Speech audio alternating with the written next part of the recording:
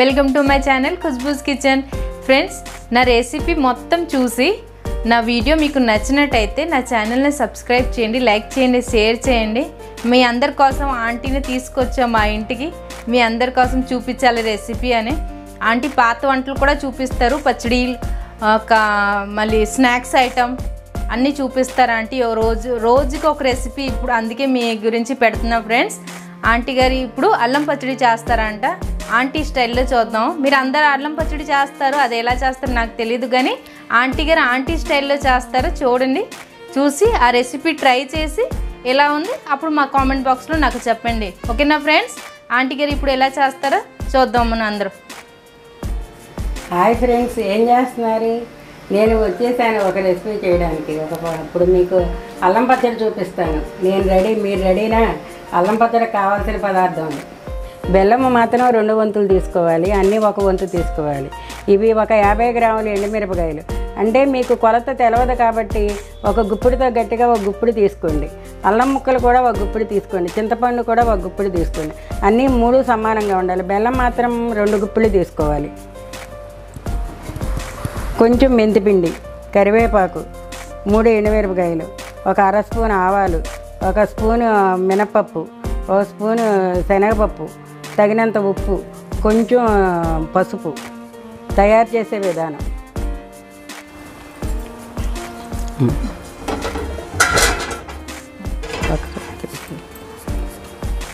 తీసుకోండి అది. ముందు స్టవ్ అంటించుకుని నీళ్ళు పెట్టుకున్నాం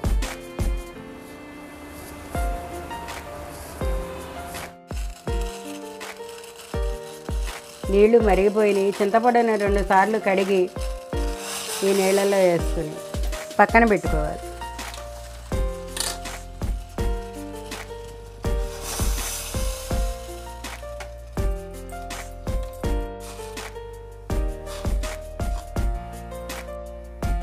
ఇప్పుడు స్టవ్ మీద కళాయి పెట్టుకుని ఆయిల్ వేసుకుని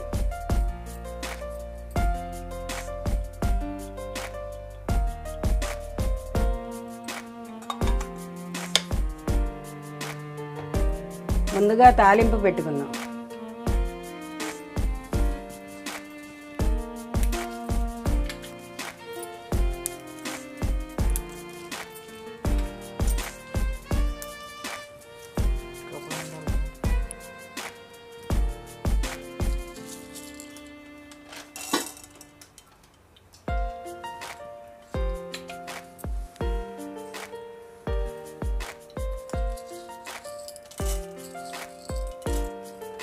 మినపప్పు వేసుకుందాం ఎండమిరపకాయలు వేసుకుందాం ఒక ఇప్పుడు ఒక అర స్పూన్ ఆవాలు వేసుకుందాం తాలింపు ఎక్కువగా తినేవాళ్ళు అయితే కొంచెం కొంచెం ఎక్కువ వేసుకోవచ్చు. తక్కువగా తింటారు కొంతమంది చాలా.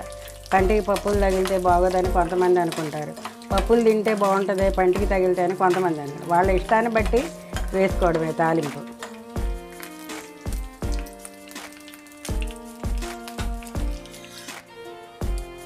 కొంచెం మెంతిపిండి. కరివేపాకు. వెల్లుల్లిపాయలు ఇందాక మర్చిపోయాను. వెల్లుల్లిపాయ రేకలు ఒక పది.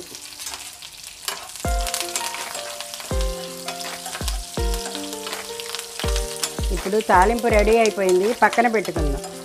మీరు చింతపండు అయినా సరే చల్లారిన తర్వాత వేసుకోవాలి. ఎండుమిరపకాయలు వేయించినా ఏవైనా సరే చల్లారిన తర్వాతే చేయాలి. వేడి మీద చేస్తే మాత్రం పచ్చడి నిలవ ఉండదు. ఇది మామూలుగా అయితే ఒక నెల రోజుల వరకు నిలవ ఉంటుంది. తడి స్పూన్లు అవి పెట్టకూడదు. స్టవ్ అంటించుకుని కళాయి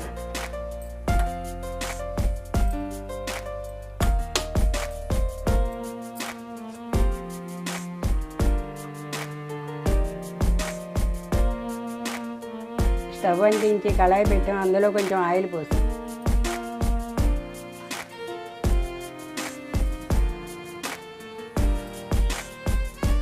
ఆయిల్ కాగిన తర్వాత ఎండుమిరపకాయలు వేయించుకోవాలి. ఎండుమిరపకాయలు ఎప్పుడు ముక్కలు చేసుకోవాలి ఎందుకంటే లోపల గింజలు ఏగుతాయి. కాయ కింద ఉంటే మాత్రం ఏగదు అప్పుడు మనకి రుచి రాదు.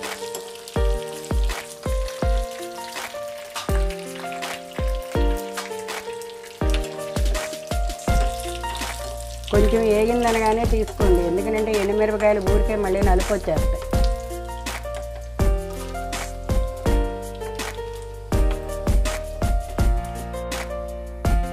ఎండుమిరపకాయలు వేయించాం కదా ఆ నూనెలోనే అల్లం ముక్కలు కూడా వేయించి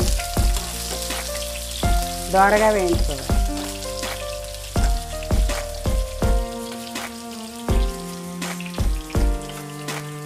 అల్లం ముక్కలు కూడా పచ్చి లేకుండా వేయించుకోండి.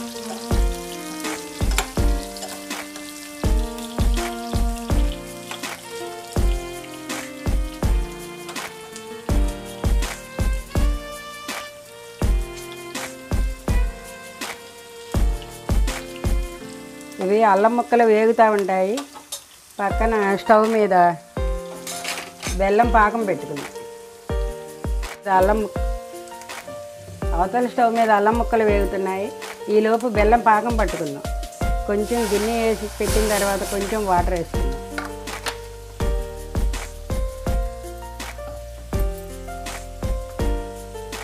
ఇందాక అన్ని కొలత ఒక్కొక్క గుప్పుడు మాత్రమే వేసుకున్నాం.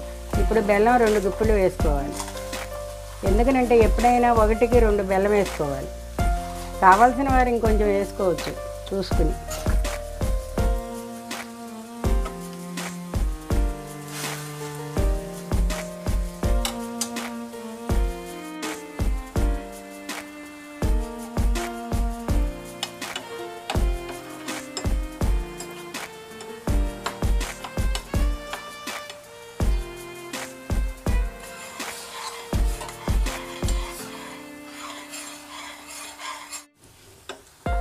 ఇది అల్లం ముక్కలు వేగిపోయింది ఓ ప్లేట్లో తీసుకోండి. అర్జెంట్ అనుకుంటే ఫ్యాన్ కింద పెట్టి చల్లారి పెట్టుకోండి. లేదంటే మీకు ముందు వేయించుకుని పక్కన పెట్టుకుని మీ పని అయిన తర్వాత అంతా చల్లారిన తర్వాతే చేసుకోవాలి పచ్చడి మాత్రం. వేడి మీద చేశారంటే మాత్రం మీకు నిలవ ఉండదు పచ్చడి.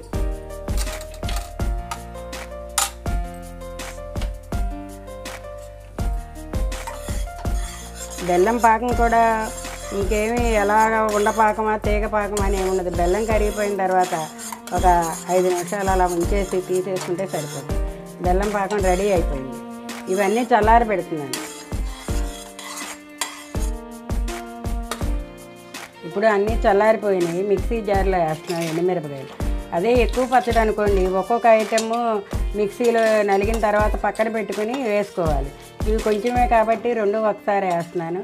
మీరు ఎప్పుడైనా పచ్చడి ఎక్కువ చేసుకునేటప్పుడు ముందు ఎండుమిరపకాయలు వేసుకోండి. చింతపండు అది వేసుకున్నారనుకోండి ఆ తడికి ఎండుమిరపకాయలు నలగవు అనమాట నేను ఇది కొంచెమే కాబట్టి అల్లమును ఎండుమిరపకాయలు రెండు వేసేస్తున్నాను. ఎక్కువ ఉంటే కనుక ఒక్కొక్కటి వేసుకుని ముద్ద పక్కన పెట్టుకోండి.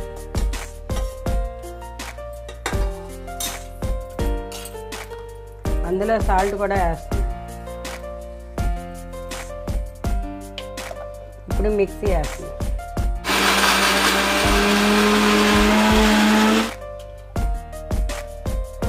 ఇప్పుడు ఎండుమిరపకాయలు అల్లం పేస్ట్ అయింది. దీంట్లో చింతపండు కూడా వేసుకుంటాం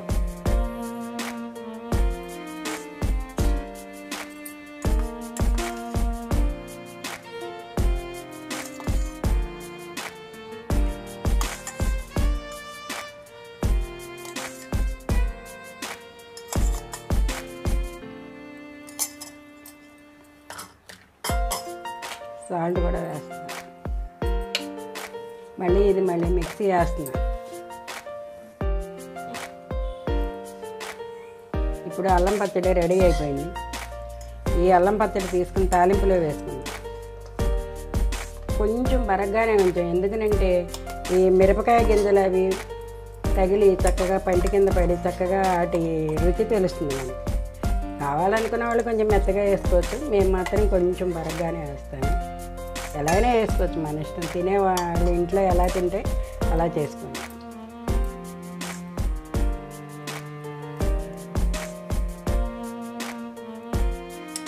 ఉప్పు కూడా వేసుకోండి. చాలా పోతే కొంచెం వేసుకోండి. కానీ ఈ కొలతల ప్రకారం వేసుకుంటే మీరు మళ్ళీ ఏమీ చూసుకోకర్లేదు. ఇప్పుడు తాలింపులోను అల్లం పచ్చడి వేస్తున్నాను. ఇప్పుడు బెల్లం పాకం కూడా వేస్తున్నాను. కొంచెం పలచగా ఉన్నా పర్వాలేదు బెల్లం